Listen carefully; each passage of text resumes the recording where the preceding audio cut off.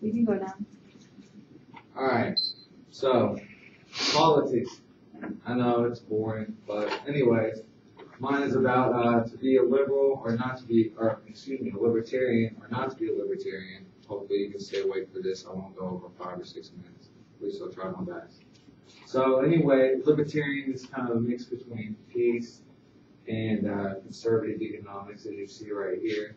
Uh, also found in freedom, um, right here, you know, we have Republicans and Democrats duking it out.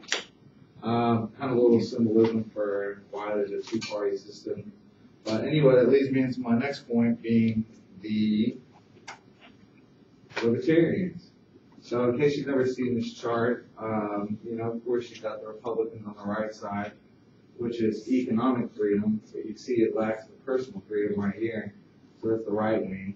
And of course, we all know these, communism, fascism, where you don't get any freedom.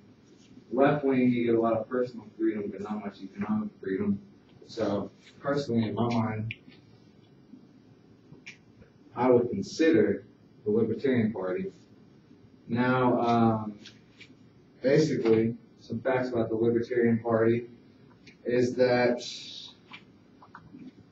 um, it's really just based off uh, personal freedom. Uh, it's just it gives the individual the right. It, it gives you like it doesn't insult your intelligence. Basically, it acknowledges the fact that you're a human being, you're an adult, you should be able to do what you want and do what you wish. Uh, the Libertarian Party is relatively new. Um, and really, in my mind, it's like a combination of the two, and that's why I like it so much. And it is actually the third biggest party.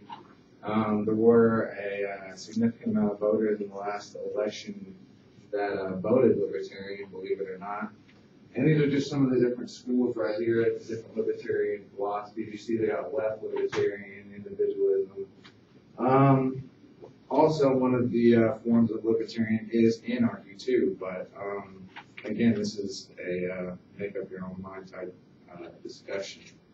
So, uh, making the transition between the uh, libertarian and the other three parties I'm going to discuss, uh, we're just going to show kind of the pros and cons. Of course, uh, in case you didn't notice any cons in libertarian, uh, if you know anything about Ron Paul, he's an advocate for a uh, pro drug use. I remember seeing an interview and they said, so you would leave last here when he said, yeah, you know, and if they did, would anybody in here go do it? I mean, it's kind of obvious. Uh, I mean, and a few facts about it is it comes from the Latin, uh, Latin root liber, which means liberty uh, or free. Um, so anyway, moving on to conservative. Again, you'll see here, conservative is to preserve, and that's why you see uh, they got two different types of conservatives, but uh, they both kind of fall in the uh, same type category. Um, the first group is that they work to try and keep things the way they are and struggle to maintain stability and add to continuity. And the other group opposes politics and dealing with modernism and thinks it best to return America to the way things were. But of course, it's not very progressive and doesn't get us very far. So that would be the con. Um, uh, the main view of conservatism, uh, just to paraphrase it, uh, British Conservative Party said uh, conservatism is not really a philosophy as much as an attitude, constant force, a timeless gear functioning in the development of a free society. Yet with this said, uh, it's also made uh, to point out that um, it's all in relation to a deep, permanent, required responsibility of man on itself, which also relates to the Libertarian Party. Uh, it's similar to uh, libertarianism. Uh, it has many schools, uh, including the Christian right, the Jewish right, Hindu nationalism, Islam, and traditional Catholics, if you can believe that. You can look it up if you don't. And uh, in transition, although it seems like it may be blatantly different between conservatism and uh, liberalism, there are actually many similarities. How to get both on one slide. Libertarian is a philosophy that promotes the importance of liberty and equal rights. Uh, the word liberal comes from the Latin word liberalis, meaning freedom. Uh, we also know that there's two types of liberals. Um, struggle of the Liberal Party is that it works towards uh, maintaining traditional institutional uh, support and with constituents. Uh, there are many famous historical figures that are a, uh, liberals, including John Locke, Adam Smith, Thomas Jefferson, Thomas Paine, David Hume, Jeremy Bentham, uh, and John Rawls, if you know much about philosophy.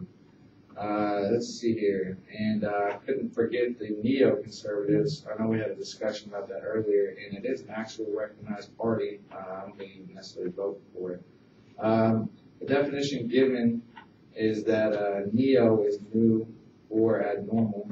Neoconservatism in the U.S. is a branch of American conservatism that is known for its advocacy for using American economic and military power to topple American enemies and promote liberal democracy in other countries. Emerged in the 1970s among Democrats who disagreed with the power's growing opposition to the Vietnam War and became skeptical of Great Society's welfare programs. Um, anyway, a little bit of facts and truth about the uh, neoconservatives is that they were driven by the notion that the uh, liberalism had failed and no longer knew what they were talking about. So the term neoconservative was brought back to the attention of the mass media during the president of none other than George W. Bush. Um, neoconservatives rejected the counterculture of the 1960s and considered them the new left, so maybe that's the neo left. And um, they disliked them because of their uh, movement against the Vietnam War. Um, also, uh, Leo Strauss, who uh, well-known neo had neoconservative ideology, was also quoted as saying that uh, religion is an instrument of promoting morality. Religion becomes what Plato called a noble lie. It's a myth that is told the majority of society by the philosophical elite, philosophical elite in order to uh, share order. So uh, I just thought that that was a little bit sketchy. Um, anyway, uh, there's different types of things that uh, the uh, neoconservatives do have to offer. And uh, I would never say that uh, not going to Iraq wasn't the right thing. I think it was necessary. In conclusion, um, there's all sorts of uh, different types of uh, beliefs you can go for, and really need to pick the one that's best for you. Um, a liberal of sorts, a man named Thomas Hill Green was quoted as saying, "Freedom has been confined to the power of the power to do what one wills." Bear in mind, though, this was from um, a person who rejected the ideas that humans were driven by self-interest and says he stressed that the new liberty was to act rather than avoid suffering. He said to act rather than suffer. I mistyped that, excuse me. Another one I learned is I hope you can pass on is to make simple life choices. Don't want making totally messed this one up. I'm sorry about that. My final point is whether or not I'm libertarian or you are, we as Americans are very blessed to be born with the choice to decide our party affiliation. After doing a considerable amount of research, I see now it's difficult to cut through the political banter and make the choice you feel is right in your heart. Uh, I now know that the ch- uh, challenge that you encounter from here on out, and uh, let's just hope we do the best. Uh, thank you.